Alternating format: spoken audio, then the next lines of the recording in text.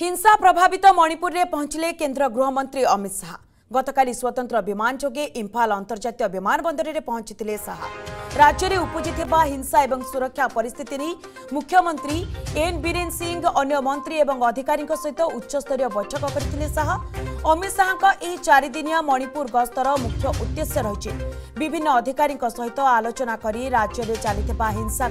অনুধান করা এবং